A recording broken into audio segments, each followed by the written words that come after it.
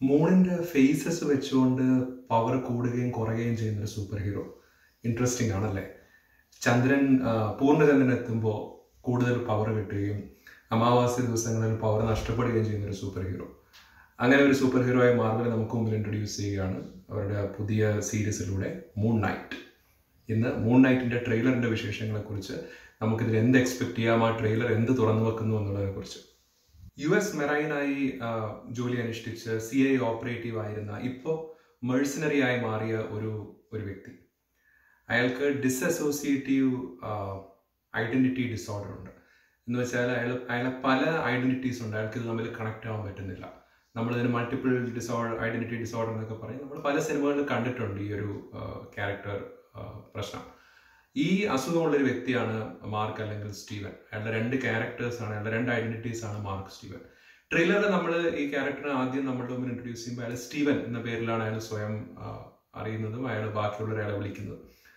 അവിടെ തന്നെ നമുക്ക് കാണാൻ പറ്റുന്നുണ്ട് ഇയാൾ പറയുന്നു ക്യാരക്ടർ നമ്മളോട് പറയുന്നുണ്ട് അയാൾക്ക് ഉറക്കമില്ലായ്മയുണ്ട് അയാൾക്ക് സ്വപ്നം എന്താണ് യാഥാർത്ഥ്യം എന്താണ് ശരിക്കും അയാളുടെ ജീവിതത്തിൽ നടക്കുന്നത് എന്താണ് സ്വപ്നം കാണുന്നത് എന്താണെന്നും തമ്മിൽ അയാൾക്ക് വേദരിച്ചറിയാൻ പറ്റുന്നില്ല നമ്മുടെ ഇതിലെ ഹീറോയ്ക്ക് അതിനു പുറമെ ഇടയ്ക്ക് അയാൾക്ക് അപ്രതീക്ഷിതമായിരുന്ന ഒരു കോളിൽ അയാളെ മാർക്ക് എന്ന് അഡ്രസ്സ് ചെയ്യുമ്പോൾ അയാൾക്ക് മനസ്സിലാകുന്നില്ല നിങ്ങൾ എന്തുകൊണ്ട് എന്നെ മാർക്ക് എന്ന് വിളിക്കുന്നു? എന്നൊക്കെ ക്യാരക്ടർ ചോദിക്കുന്നു നല്ല രസമാണത് അതിനെല്ലാം ഇടയിൽ ഇയാളുടെ ഈ സ്ലീപ്പ് ഡിസോർഡറും അയാളുടെ ഐഡന്റിറ്റി ഡിസോർഡറും കാണിക്കുന്നതിനിടയിൽ അയാൾക്കൊരു ഈജിപ്ഷ്യൻ പിരമിഡുമായി കണക്ട് ചെയ്യുന്നുണ്ട് ആ സ്റ്റോറി അതിന് കാരണം ഈ സൂപ്പർ ഹീറോ മൂൺ നൈറ്റ് എന്ന സൂപ്പർ ഹീറോ മാർക്ക് ആർദർ അല്ലെങ്കിൽ സ്റ്റീവൻ ഗ്രാൻഡ് എന്ന ക്യാരക്ടറിന് അയാളുടെ പവർ വരുന്നതിന്റെ ഒരു ഒറിജിൻ സ്റ്റോറി ആയിട്ട് മാർവൽ നമുക്ക് പറയുന്നത്. എന്റെ കോമിക് ഹിസ്റ്ററിയിൽ പറയുന്നത് ഖോൻഷു എന്ന ഈജിപ്ഷ്യൻ ചന്ദ്രദേവൻ അല്ലെങ്കിൽ മൂൺ ഗോഡിൽ നിന്നാണ് അയാൾക്ക് ആ പവർ വരുന്നത്. അയാളുമായിട്ടുള്ള ഇന്ററാക്ഷനിലോ അയാളുമായിട്ട് എന്തോ ഒരു എൻകൗണ്ടറിലാണ് ഇയാൾക്ക് ആ പവർ കിട്ടുന്നതെന്നാണ് പറയുന്നത്. അപ്പോൾ ഇയാളുടെ പവറിന്റെ ഒരു ബ്യൂട്ടി ഇതാണ്.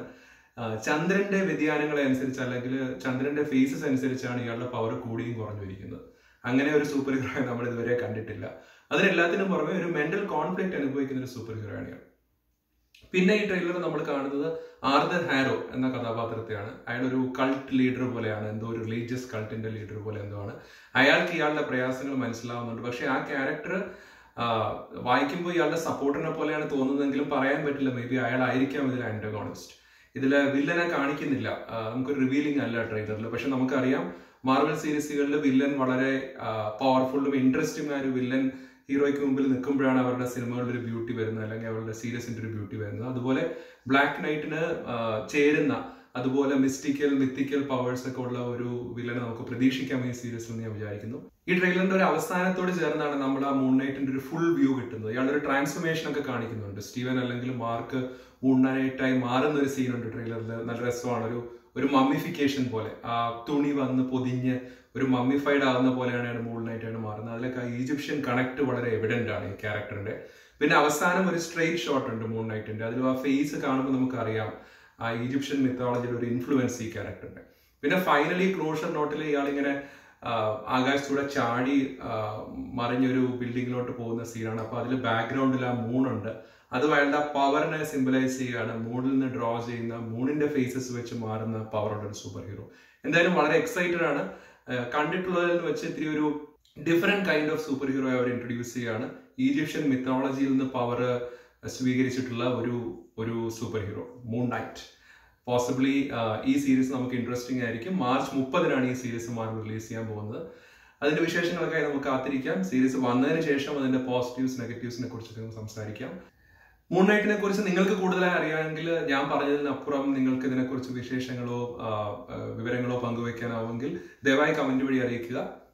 എന്റെ ഈ വീഡിയോ നിങ്ങൾക്ക് ഇഷ്ടമായെങ്കിൽ ലൈക്ക് ചെയ്യുക സബ്സ്ക്രൈബ് ചെയ്യുക. ഇഷ്ടമായില്ലെങ്കിൽ എന്തുകൊണ്ട് ഇഷ്ടമായില്ല എന്ന് ദയവായി കമന്റ് വഴി അറിയിക്കുക. ഇതുപോലുള്ള ഇൻട്രസ്റ്റിംഗ് ആയ ട്രെയിലേഴ്സ് അല്ലെങ്കിൽ മൂവി സീരീസ് എന്തിനെങ്കിലും കുറിച്ച് ഇനിയൊരു വീഡിയോയുമായി നിങ്ങൾക്ക് മുമ്പിൽ വരുന്നത് വരെ. ബൈ